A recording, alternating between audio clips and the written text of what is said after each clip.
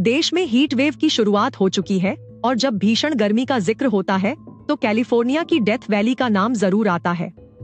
खड़ी चट्टानी पहाड़ियों और बंजर ज़मीन वाली इस वैली को दुनिया की सबसे गर्म जगह कहा जाता रहा है। लेकिन ये जगह भी अफ्रीकन देश इथियोपिया के डेनिकल डिप्रेशन के आगे कुछ नहीं है। ये वास्तव में धरती की सबसे गर्म जगह है। यहाँ सर्दियों में भी औसत तापमान 35 डिग्री सेल्सियस रहता है। पूरे इलाके में नमक की झीलें हैं जो गर्मियों में सूख जाती हैं। यहाँ की हवा में एसिड की तीखी गंध और धुआँ दिखाई देता है।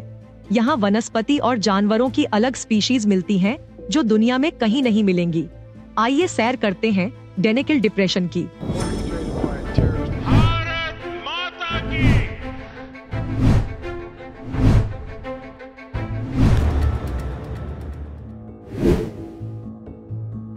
124 मील लंबा और 31 मील चौड़ा डेनिकल डिप्रेशन किसी समय रेड सी का हिस्सा रहा होगा।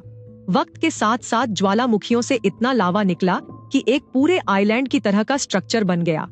नासा की अर्थ ऑब्जर्वेटरी का मानना है कि समुद्र तल से नीचे स्थित ये जगह और भी नीचे जा रही है और एक दिन पानी में मिल जाएगी। इथियोपिया के डेनिकल डिप्रेशन को धरती की सबसे एलियन जगह भी कहा जाता है, जहाँ कोई आता जाता नहीं।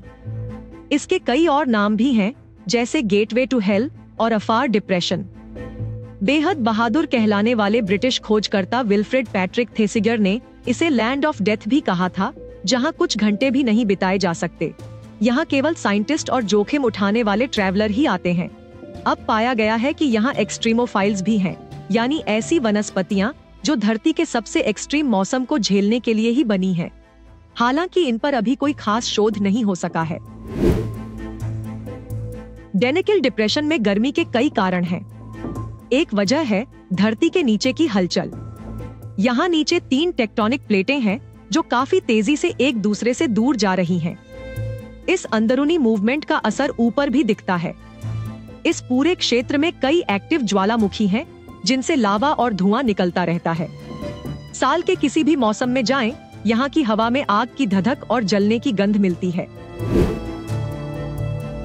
यहाँ एर्टा एल नाम का ज्वालामुखी है, जो लगभग सवा छह सौ मीटर ऊँचा है इसके शिखर पर दुनिया की पाँच में से दो लावा झीलें बनी हुई हैं। साल 1906 में यहाँ पहली लावा झील बनी, जो पानी नहीं, बल्कि खोलते हुए लावा से बनी है हैरानी वाली बात है कि ये लावा ठंडा नहीं पड़ता, बल्कि लगातार धधकता रहता है इसके अलावा यहाँ कई छोटे बड़े सक्रिय ज्वालामुखी भी हैं। धरती के भीतर लगी हुई आग की वजह से ऊपर की सतह भी बाकी दुनिया से अलग है। यहाँ अलग तरह की चट्टाने और मिट्टी है, जो भुरभुरी है। देखने पर यह कोई दूसरा ग्रह लगता है। डेनेकिल में पानी के कई सोते हैं। यहाँ एक नदी भी है, जिसे अवाश नदी कहते हैं, लेकिन ये नदी भी अजीब है। ये नदी लंबी होने के बावजूद कभी समुद्र तक नहीं पहुँच पाती, बल्कि कुछ कुछ महीनों में सूख जाती है और नीचे नमक इकट्ठा हो जाता है।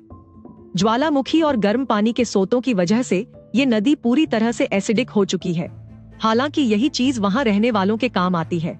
वो नमक जमा करके पास के बाजारों में बेचने जाते हैं। इसे यहाँ व्हाइट गोल्ड कहा जाता है, क्योंकि इसके अलावा यहाँ कोई दूसरा सोर्स ऑफ़ इनकम नहीं है। एक और बात डेनिकिल को सबसे गर्म बनाती है, वो है समुद्र तल से इसकी पोजीशन तल से लगभग सवा सौ मीटर नीचे स्थित होना इसे और ज़्यादा गर्म बना देता है। यहाँ साल भर में बारिश भी 100 से 200 मिलीमीटर तक ही होती है। बता दें कि हमारे देश में औसत वर्षा लगभग 150 सेंटीमीटर है, वहीं उत्तर पूर्वी भारत और पश्चिमी तट पर सालाना लगभग 400 सेंटीमीटर से भी ज़्यादा बारिश होती है। तो अनुमान लगा सकते हैं कि मिलीमीटर में बारिश कितनी कम होगी। इतनी भीषण गर्मी के बाद भी यहाँ अफार जनजाति के लोग रहते हैं। घूमंतु समुदाय के ये लोग साल भर डेनिकिल में रहने की बजाय आसपास घूमते रहते हैं। खासकर गर्मियों के मौसम में ये लोग पड़ोसी इलाकों में चले जाते हैं। नमक और कैमल फ़ार्मिंग इनके रोज़गार का बड़ा ज़रिया है। इसके अलावा यहाँ किसी तरह की खेती किसानी नहीं होती। ये लोग भी डेनिकिल के आसपास रहते हैं, न कि इसके मेन हिस्से में। चूँकि ये डेनिकिल के सबसे करीब बसे हुए लोग हैं, इसलिए इनके नाम पर इसे अफार डिप्रेशन भी कहते हैं। डेनिकिल में कुछ खास तरह की वनस्पतियाँ और कीटाणु भी पल रहे हैं। वैज्ञानिक भाषा में इन्हें एक्सट्रीमोफाइल कहा जाता है, यानी वो चीज़ें, जो बेहद विषम हालातों में भी ज़िंदा रह सकें। इनकी स्टडी से साइंटिस्ट्स ये भी समझना चाह रहे हैं कि क्या आगे चलकर एक्सट्रीम हालातों में दूसरे ग्रहों पर जीवन संभव हो सकेगा? कई एंथ्रोपोलॉजिस्ट मानते हैं कि दुनिया में इंसानी विकास इसी जगह से शुरू हुआ होगा। साल 1974 में यहाँ एक कंकाल मिला था, जो ऑस्ट्रेलोपिथेक्स नस्ल का था। ये इंसान के सबसे पुराने पूर्वज माने जाते हैं। इसके बाद भी कई प्राचीन नस्लों के अवशेष यहाँ पर मिल चुके हैं, जिससे अंदाज़ा लगाया जा रहा है कि डेनिकिल में ही इंसानों का विकास होना शुरू हुआ होगा। हालाँकि, अब तक इस बात की पुष्टि नहीं हो सकी है। यहाँ एक झील भी है, जिसे किलर लेक या अरात कहते हैं। इसके आसपास काफ़ी सारे पक्षियों के मृत शरीर दिखेंगे। ये वो पक्षी होते हैं जो कहीं आते जाते यहाँ ठहर जाते हैं और झील के पास जाते ही खत्म हो जाते हैं। दरअसल इसके पानी में कार्बन डाइऑक्साइड और बड़ी मात्रा में मीथेन गैस पाई जाती है, जो पक्षियों की मौत का कारण बनती है। पहली बार यहाँ साल 2013 में खोजकर्ता पूरे तामझाम के साथ आए थे, लेकिन जल्द ही वापस लौट गए। वैज्ञानिक दोबारा आए और इस बार वहाँ की ज़मीन, नमक और पानी के खोलते हुए सोतों से सैंपल लेकर गए। यही पता लगा कि यहाँ कुछ खास तरह के बैक्टीरिया पनप रहे हैं, जो दुनिया में और कहीं नहीं दिखे। एलियन प्लैनेट की तरह लगने वाली इस जगह पर टूरिज़्म भी शुरू हो चुका है। यहाँ की यात्रा नवंबर से मार्च के बीच होती है। हालाँकि इसके लिए काफ़ी नियम होते हैं और पूरी तरह से फिट लोग ही यहाँ जा सकते हैं। यात्रा यहाँ के सबसे करीबी शहर विक्रो से सुबह चार बजे शुरू होती है, जो कुछ घंटों तक चलती है। यहाँ हेलीकॉप्टर राइड भी मिलने लगी है। टूरिस्ट्स के साथ गाइड और डॉक्टर होते हैं। उन्हें खास तरह के जूते कपड़े पहनने होते हैं, ताकि गर्मी और एसिडिक हवा का असर कम से कम हो। जियोथर्मल इलाकों से गुजरते हुए बहुत सतर्क रहना होता है। ये सॉल्ट क्रस्ट है, जो कभी भी नीचे धसक सकता है और अंदर लावा भरा हो सकता है।